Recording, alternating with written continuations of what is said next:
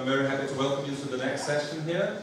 Our first speaker here in this session is Joshua Dunfield, and he's, tell, he's going to tell us about elaborating intersection union types. Please. Thank you.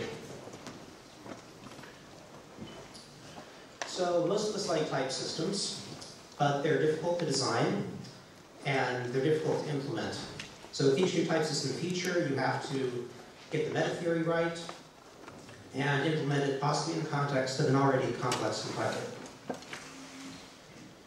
So what going try to do here is use intersection and union types as a target to encode various type system features, and then get rid of the intersection and union types by elaborating them into a completely ordinary type system. And my real motivation is that I like intersection types. So, for example, you can encode operator overloading using intersection. So an overloaded plus operator is the intersection of plus on ints and plus on reals. To do this, you need intersections and unions and a merge construct, which I'll get to in a minute. Then we're going to turn intersections into simple product types and unions into sum types. I only have 20 minutes, so I'm not going to talk about union types here, but you can see the paper. So what is an intersection? Well, it's something conjunct conjunctive, like set intersection. If we say that B has type A intersect B, we're saying it has type A and type B. So the introduction rule says that if E has type A1 and type A2, then it has the intersection. In the elimination rule, if you know that E has intersection type, then you know that it has either one of those types. So the K here is existential. Unlike a lot of previous work that I and other people have done, we can form the intersection of arbitrary types even if they have no particular relation to each other. So if it's something conjunctive, is it just conjunction? Well, it seems unlikely because we know the product types correspond via Curry-Howard to conjunction. And intersection is not really a product type. So product is something that has multiple witnesses. You get to give one witness for A1 and another one for A2. Intersection has only one witness, so you need to give one term that has both type A1 and type A2. In the elimination, you have to explicitly project out of a product, but you don't explicitly project out of the intersection. So you have the same term E in both the premise and conclusion. And it's really not a product type because not all intersections of inhabited types are inhabited. So there is no V that is both an integer and a function. But of course, all products are inhabited. You can just form the pair of, say, 0 and a function. But we're going to make all intersections inhabited by adding a merge construct.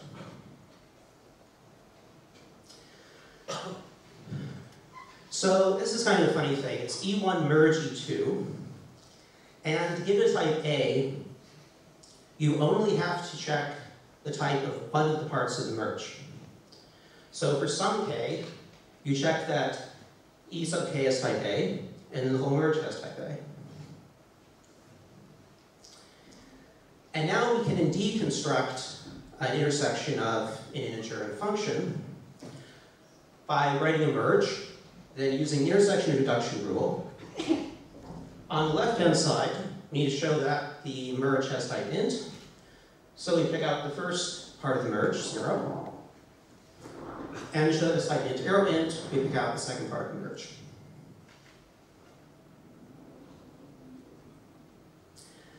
Note the order here does not matter. I could have swapped the merge around.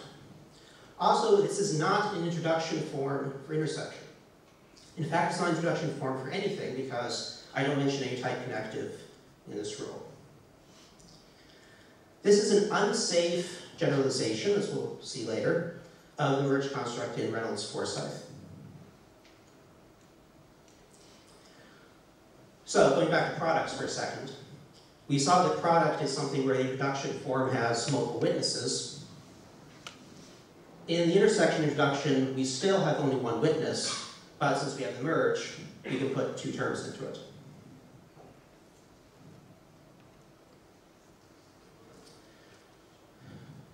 So what we're going to do is, assuming we've encoded various things as intersections and unions, we're going to get rid of them by turning them into products and sums. So this type in the source program, int intersect inter int, will become int product inter int. This seems to have been part of the folklore for at least 20 years.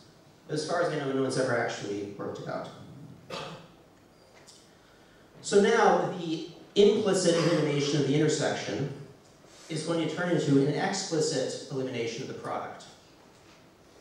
We're going to elaborate the E into a projection out of the elaborated term then.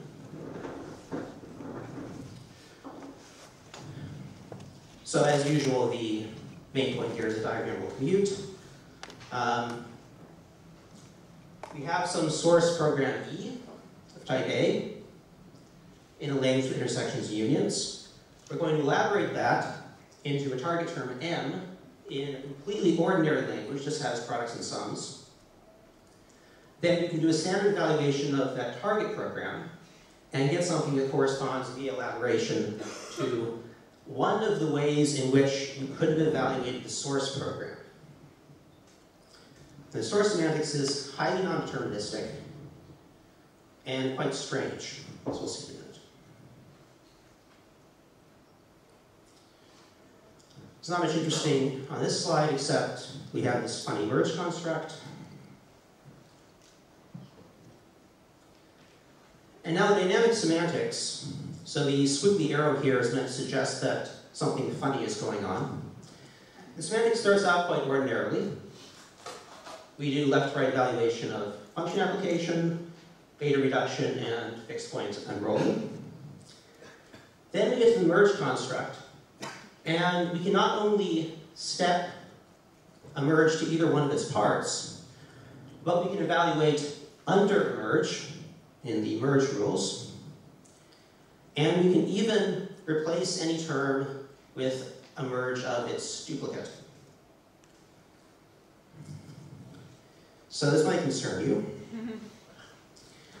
and indeed, you should not try to run this dynamic semantics. So, for example, this is a perfectly well-typed term because with the merge typing rule, I can pick out the lambda part of it, and of course I can apply that to 5. But when I'm running it, I might choose to use the first stepping rule up there. And now I get 0 applied to 5, which of course is ill-typed and doesn't step. So we don't have preservation of progress in the usual sense. We do have the theorem that every well-typed E is either a value or there exists some E prime to which it steps preserving typing. So if you pick the right stepping rule, you will preserve typing. Okay. The target semantics is completely uninteresting, so it's in gray. There's nothing interesting here, it's just products and sums. There are no intersections, no unions, and no merge.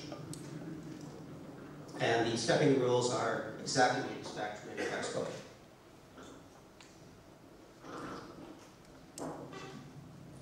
Okay, so we want to elaborate the source programs into target terms. To do this, for functions, we just recurse over the structure of the term. Body elaborates to m, therefore the lambda elaborates to lambda. For the merge, we elaborate to the thing that corresponds to the part of the merge that we typed.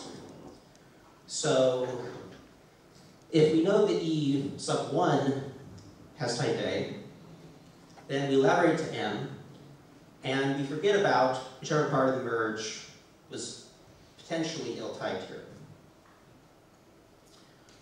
For intersection, we elaborate at type A1 to M1 at type A2 to M2, and then elaborate to the pair of M1 and M2. Remember, we want to turn intersections into products.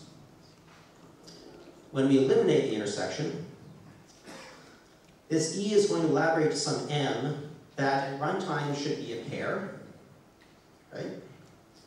So we need to have an explicit projection out of it. And now we can show that if E at type A elaborates to M, then M has a type which is the same except you replaced all the intersections with products. Depending on which part of the merge the type checker chooses, though, you still get some strange behavior. If you write 3 merge 4 a type int, then this could elaborate to either 3 or 4. All right, they both have type int. It's sound. But this is quite undesirable because now evaluation is going to depend on whatever the type checker happened to do. And Reynolds noticed this quite a long time ago with intersection type systems and called this problem incoherence. I'll talk more about that later. We can show a kind of simulation result. So if E elaborates to M, M takes one step to M prime, then there is some E prime such that E takes zero more steps to it and reserves typing and it elaborates to M prime. It's not necessarily one step. So if you project out of the pair W1 and W2, this is going to correspond to an intersection elimination in the source, which is not explicit, so you don't need to step anything. It can also take more than two steps. So if you have a merge applied to value, this will elaborate to the lambda applied to W, which will take one step to W in the target. But the merge applied to V in the source will first have to pick out the part of the merge and then do the beta reduction. So you move at different speeds on the right and the left. And it's not too hard once you have this and some lemmas to extend this to a multi-step consistency where you evaluate in the target down to a value, then you can show that in the source, if you pick the rules correctly, you will get some V which elaborates to W.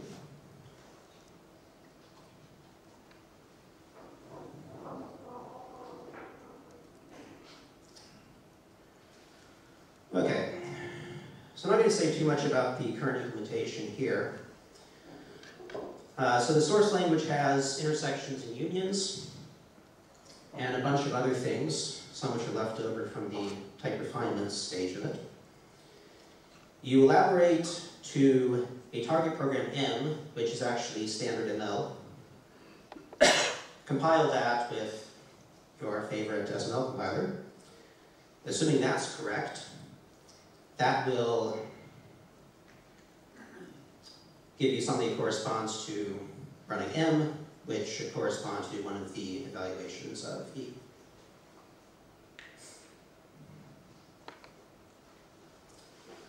So here are a few applications of this. As I mentioned, you can do operator overloading. And to make that work, you just say what you want the type of plus to be, and then define plus to be a merge of the plus on ints and plus on reals.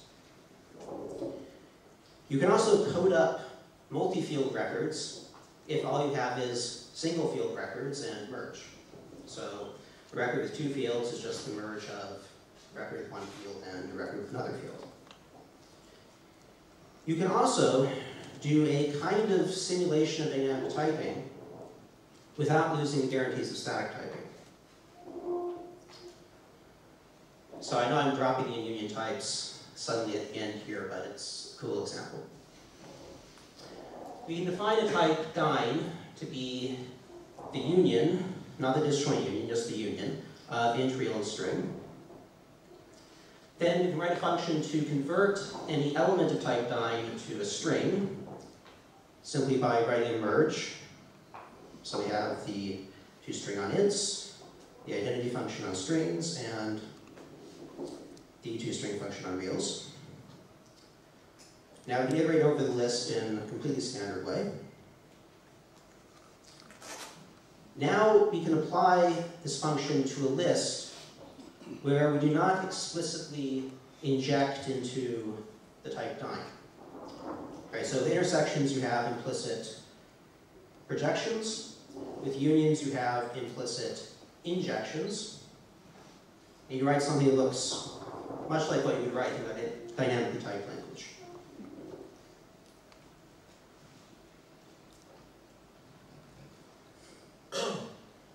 I'll briefly talk about some related work. Uh, as far as I know, Benjamin Pierce, I believe this was his thesis, uh, was the first to talk about this idea of compiling or translating intersection to product. Forsythe was the first, he's first intended as practical language with intersection. It used a limited coherent merge, and I'll talk in a moment about how to try to solve the incoherence problem here. You can also give a semantics directly to terms with intersection types. So then you have a an evaluation that explicitly depends on runtime type information. This idea also came up in some work on flow types and compiler analysis. You turn intersections into virtual tuples and unions into virtual sums. But this was just for the purpose of analysis. So you don't try to run programs using these virtual tuples and virtual sums. It's just for the purpose of uh, flow analysis. And there's been a lot of work on type refinements uh, where you generally require that you're intersecting the same kind of animal.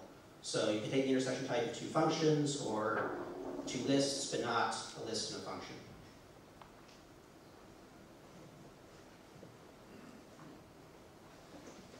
So, summarize. We can try to encode various language features using intersection and union, and then elaborate them away. The elaboration produces terms that are consistent with one of the runs of the unsafe and practical dynamic semantics of the source. The current system lacks coherence. In the paper, you can find of union types, subtyping, bidirectional typing, because either way, type inference for intersection is undecidable, and implementation. So as I said, the current approach is incoherent. The merge could turn into whatever the type checker feels like. This is still sound, they're both integers, but it's very unfriendly. So the solution I'm working on is a merge that prefers the second part, which would also allow you to code up functional record update, because the second part of the merge here would override the FLD field in R if it's defined. And to make this work, I think you need a notion of type difference so you know which part of the behavior of R to leave and which part to overwrite with the second part.